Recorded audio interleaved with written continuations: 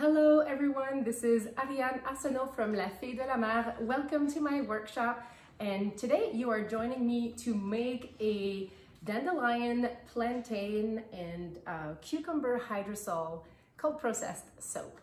So this soap is very locally inspired. I'm using a lot of botanicals that are originally uh, wild harvested from the islands as well as organic cucumbers from an organic uh, veggie farm around here that I've distilled and turned into a hydrosol with my beautiful copper alembic. My essential oil blend consists of a combination of Litsea cubeba, lemongrass, and citronella java. It will be very fresh, very like refreshing to the skin, uplifting. Um, all of the ingredients are super gentle for the skin, so if you have sensitive skin, you may want to give this one a try. And in my stock pots, I'm actually making two batches. I have cupuaçu butter, I have shea butter, palm oil from Palm Done Right, which is organic, sustainably produced, and also I have some virgin coconut oil from Baraka Shea Butter, and the shea butter is from them. The cupuaçu is from Paris Fragrances USA.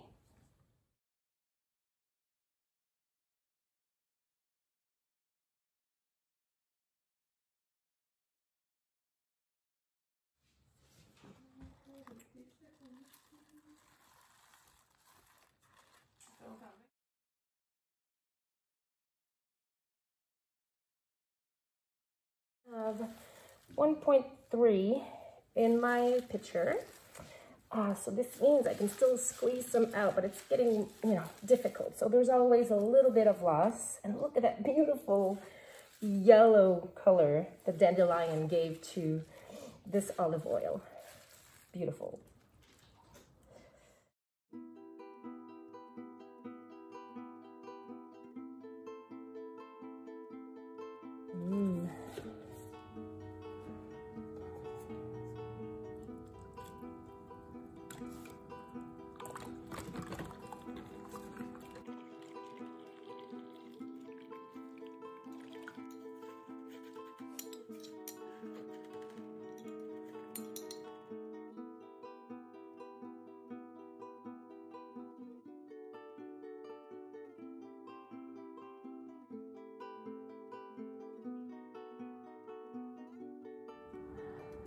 Let's go ahead and grind down the plantain into a very fine powder.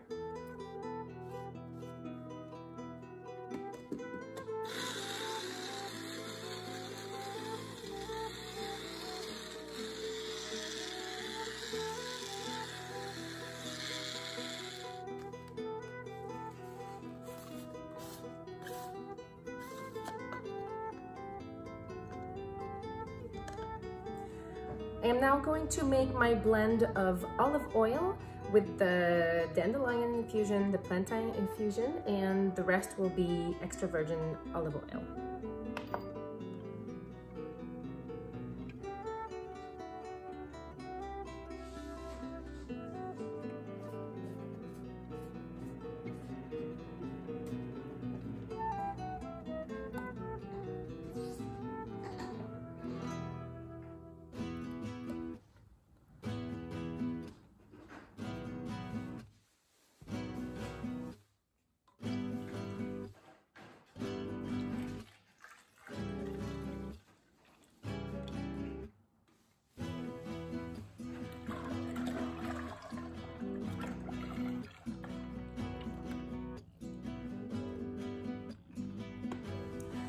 Now it's time to add the essential oil blend.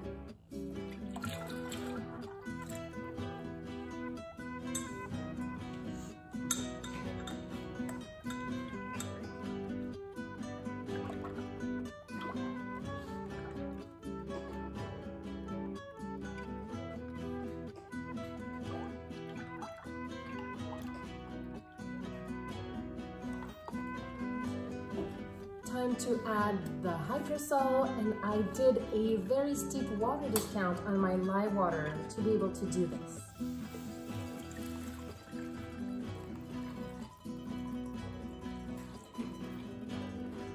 The cucumber hydrosol smells just like fresh cucumbers. It is so nice and it is very, very gentle to the skin as well. So, ah, yummy.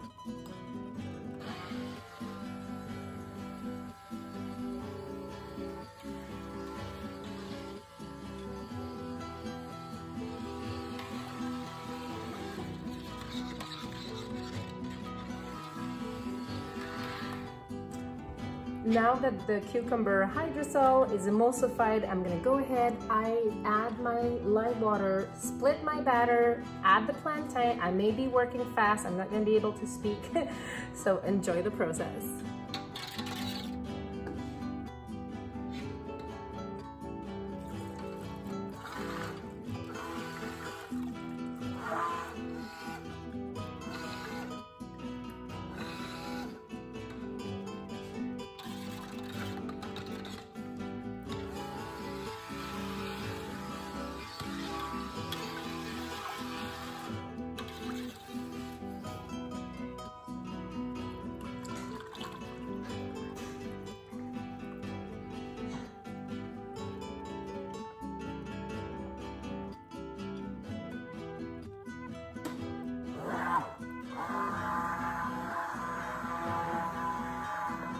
So that I have a nice distinct color between the plantain and the rest of the soap batter. I am adding some Canadian glacial clay to my mixture, not so much. Actually, I'm adding the same amount as the plantain.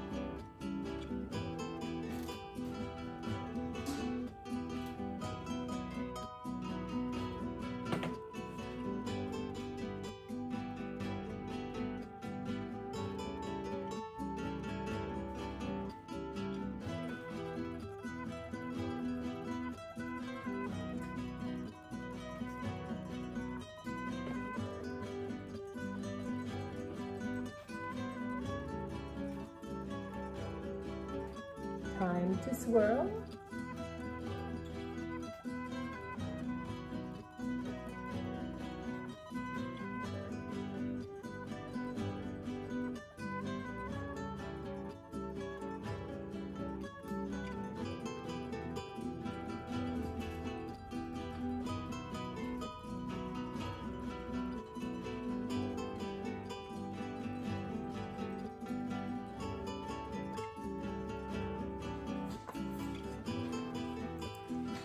And let's give some texture to this soap.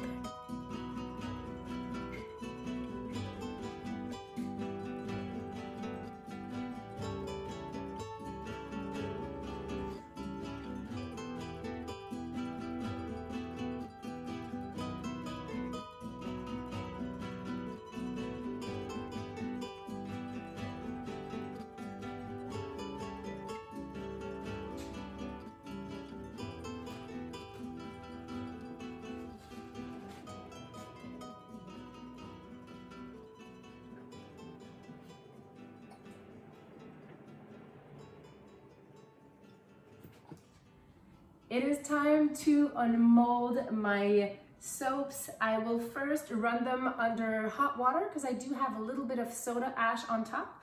And by the way, these were poured in my Winston and Walter blue silicone liners. And I will leave the link below this video.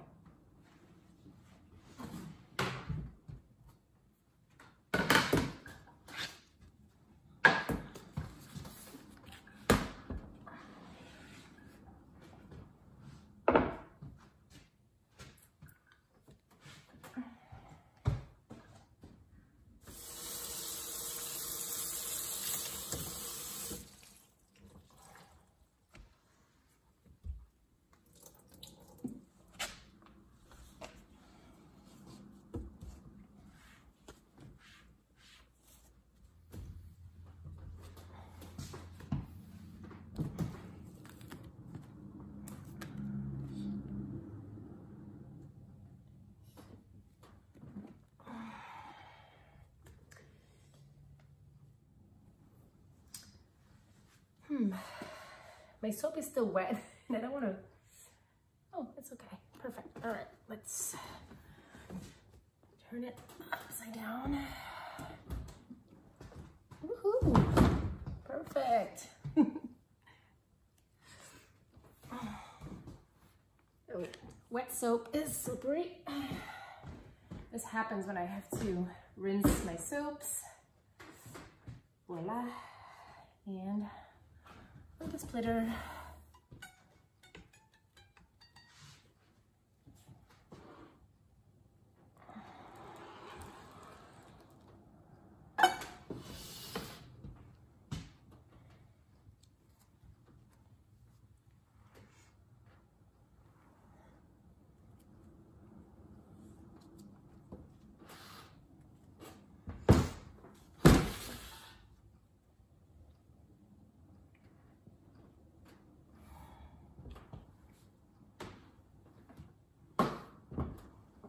I am all out of my soap drying trays from Soap Equipment. Um, so today I'm just using some food trays to uh, dry my soaps.